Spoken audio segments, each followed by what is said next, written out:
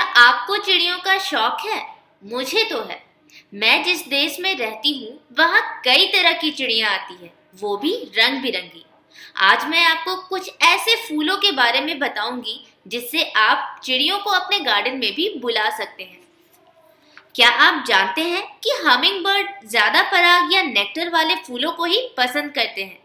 आमतौर पे इन्हें ट्यूब शेपेड फूल पसंद आते हैं। जिससे रस चूसना उन्हें आसान जान पड़ता है। अच्छी मीठी खुशबू भी इन्हें आकर्षित करती है। अगर आप अपने यहाँ हमिंग बर्ड देखना चाहते हैं तो इन्हें आकर्षित करने वाले फूलों के पौधे लगाएँ, जैसे गुलाब के फूल भी चिड़ियों को खूब आकर्षित करते हैं। गुलाब पेरेनियल प्लांट है। ये आपको, आपके साथ सालों साल रहेगा। ये कटिंग से लगता है और इसे लगाना भी बहुत ही आसान है। पर गुलाब की हाइब्रिड किस्म नहीं, देसी या क्लाइंबर वाले रोज लगाइए, जिनमें मीठी खुशबू होती है और रस भी मीठा होता है। क्लाइंबर रोज में आपको काफ़ी सारे वेरिएशंस मिल जाएँगे, हर कलर में ये मिल जाता है और इससे पक्षी काफ़ी अट्रैक्ट होते हैं। जीनिया। जीनिया के फूल गर्मियों में खिलते हैं। जनवरी में इनके बीज लगा लिए जाते हैं। ये फूल के मकरंद या रस चूसने के लिए हमिंग बर्ड खूब आती है। जीनिया के पौधे बैल्कनी या खुले आँगन में रखिए, जिससे चिड़िया बेरोक टोक से आ सके।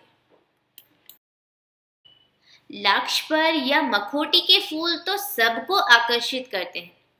हमिंग बर्ड भी अपवाद नहीं है। इन फूलों का रंग आमतौर से नीला होता है, जो ट्यूब शेपेड और लंबी डंडियों पर होते हैं। वैज्ञानिक नाम इनका डॉल्फिनियम है। भारत में ये जून से सितंबर तक ज़्यादा खिलते हैं, यानी बरसात, और फिर सर्दियाँ भी इन्हें भाती हैं। कोरल बिल्स, ये भी हमिंग बर्ड या फूल चूसने चिड़ियों को खूब आकर्षित करते हैं। पर यह भारत में सिर्फ़ जाड़ों में खिलते हैं ज़्यादा गर्मी ये फूल नहीं झेल पाते।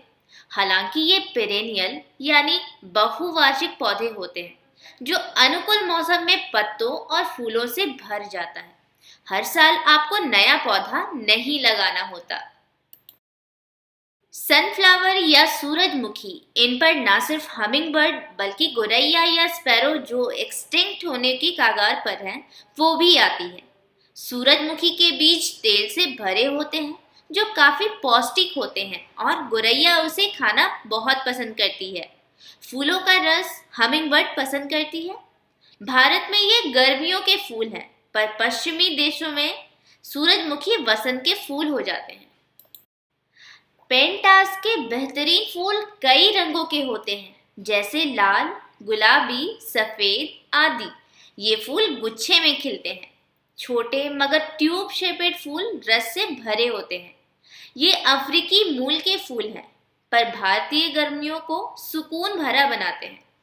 जब हमिंग बर्ड को सालों भर बुलाना है तो हमें बारहों महीने कुछ ना कुछ तो इनके लिए लगाना ही होगा। पिटूनिया, गर्मी बरसात के अलावा जाड़ों का भी ख्याल रखना होगा तो पिटूनिया उसके लिए हाजिर है। पिटूनिया या संध्या मालती के बड़े आकार के ट्यूब शेपेड फूल हमिंग बर्ड को पर्याप्त मात्रा में खाना उपलब्ध कराते हैं।